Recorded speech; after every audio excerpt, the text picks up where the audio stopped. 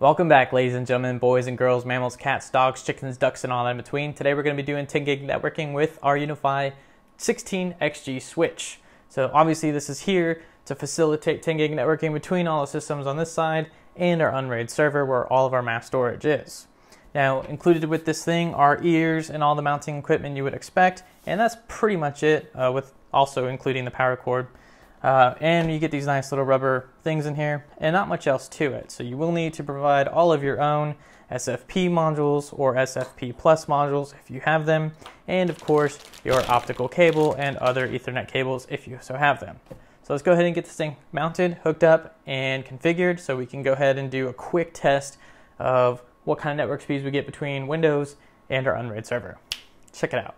All right, so this thing is pretty awesome already. It feels great. It's hella lightweight. It's a lot. It's probably one of the lightest switches I've ever held, uh, which I believe is a good thing.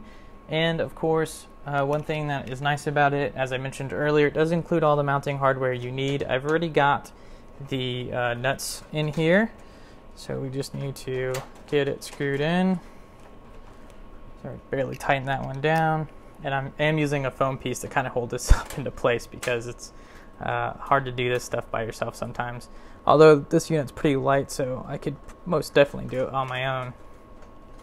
Now we are going to be using the Ethernet ports on this, uh, as well as one of the SFP Plus ports. Alright, so the two modules I have are an Intel SFP Plus one and this Finisar SFP one. And I'm told that you can use SFP Plus in an SFP port um, as long as you use FPS, SFP Plus on the receiving end as well, so they have to match. I think we're going to start off with our Finisar SFP and uh, see how that goes for us. See if we have any luck. Oh, that doesn't go in like that. There we go. Now we do know that the SFP Plus ports will in fact support SFP modules because there's plenty of power, uh, but we're uncertain if these modules even work with UniFi. Um, but we will find out pretty quickly. So I'm just plugging everything in uh, ahead of time, and once I get it plugged in, this is awkward. All right, now we got it plugged in. So all I have to do is now provide power to the switch and adopt this thing. So unfortunately, I won't be going through the adoption process with you guys. I will simply just cut right to the part where it's working and configured, but I will talk about any nuances uh, along the way if I find them. Uh, so we got power, that's interesting, and uh, I'm gonna go ahead and adopt it and get it configured. Now I did manage to get the switch adopted, but what I had to do first was actually run this uh, Ethernet cable between the two switches so that way it could see it on the network uh, because for some reason uh, the SFP module is not working but I think I may have an idea why. I am getting a light here which indicates it's working but I'm not seeing it in the UniFi controller. Uh, but I think I know why so let's take a quick look. Okay so in order to get the optical cable working I think we need to somehow configure this port which says it's disabled currently um, to be stuck at one gigabit or a thousand megabits per second. So uh, let's see here. So we did plug it in port 17. So we can click on the edit button. Uh, we'll go to profile overrides. So we're going to change link negotiation to manual mode. And the link speed we'll select a thousand megabits per second. We'll hit apply. And while that is provisioning, we'll go ahead and do the same thing on the other switch. So the 10 gig switch, it does see the the module in there. We'll click on the port. It is port 11. And we will profile override, manual. It does detect 10 gigabit. That is interesting. No, that can't be right. I think that's just the option we have available because that port is 10 gigabit we will wait for both of those to finish provisioning and I think we should be good to go from here. So that one says it's done. So what we should see is port 17 should light up or become active.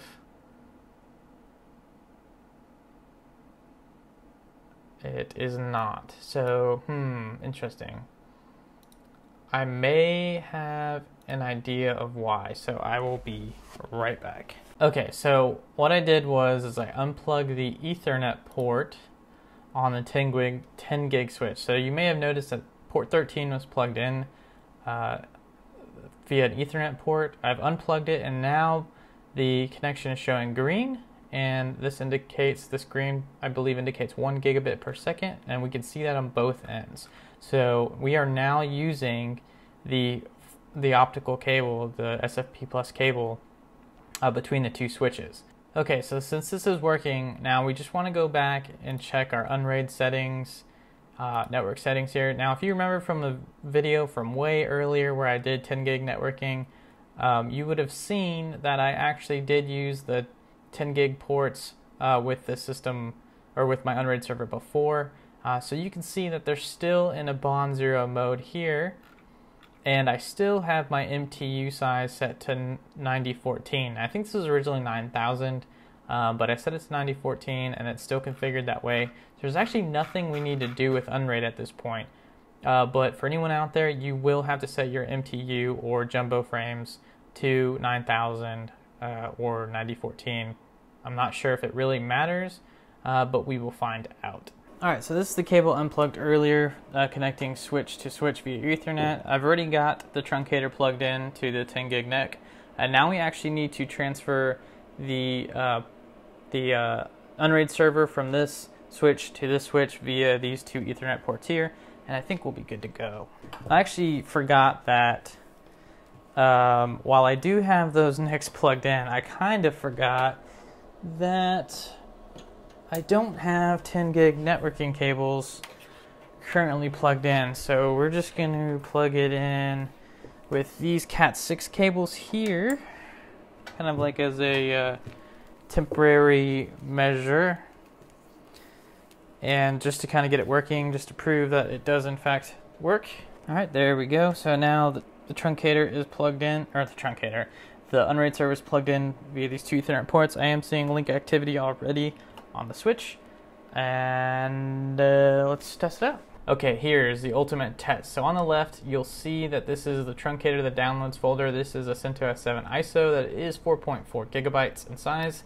And over here on the right, on the Unraid server is a whole nother folder full of ISOs from previous testing as well as some shenanigans that I've done in the past. So we're just going to copy this bad boy and paste it into that file share and almost full gigabit but we just saw 811 megabits i'm sorry megabytes per second there. Uh, so that was pretty impressive and that was i don't even know a few seconds? Uh, i don't have anything else that is quite as large. Okay wow that was uh, pretty painless and very straightforward. It pretty much worked. Luckily i did a little bit of research this time and actually found out that you could use the SFP Plus modules. Now, I am using SFP modules, not SFP Plus, but you could use an SFP Plus module, but you would have to turn the auto negotiation to manual mode and set that to 1000 megabits per second on both ends for it to work. Now, I think in my case, I didn't need to do both ends. I just needed to do the XG, set that auto negotiation to manual mode and 1000 megabits per second, and it probably would have worked, but I did both sides uh, anyway and as far as I can tell, I'm not seeing any hiccups, uh, well, at least connection wise, because it is uh, registered in the UniFi controller. Now, I did want to take a moment to talk about why I chose this model specifically versus the newer XG model that has four Ethernet ports, I believe. Uh, those are, you know, copper-based ports. Well, the biggest reason why I chose this one over that one is because this actually has more ports. So it has 12 fiber ports, and it also has those four Ethernet ports. Um, and it's a hell of a lot cheaper. I mean, you're talking, you know, barely $500 for this, uh, brand new, like off a site from like Amazon or Newegg, and you can actually find this cheaper through, you know, other websites or even with coupons. And the the four port model, uh, which I forget the, the actual version number is, um, that one is maybe about $600 from Ubiquiti's website or even more on sites like Amazon or Newegg. It just kind of depends on when you when you go look. So I felt like this was providing a better value. And and well also speaking of value, this is, you know, rack mountable right out of the box. The other one is, you know, kind of short, small. I don't believe you can rack mount it. They may sell an adapter, but that's just more stuff you have to buy. Now, as you may have noticed, I chose not to buy Ubiquiti's uh, SFP modules Uh, there wasn't really a reason for it. I just kind of already had these from a previous experiment. Um, so I'm just using literally what I have on hand. Now, luckily, uh, the Intel ones do work.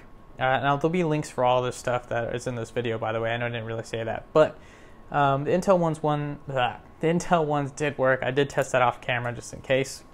Uh, more, more or less to prove to myself um, that they did. So I did want to talk about one more thing that I came across while you know trying to figure out which 10 gig switch I wanted to buy.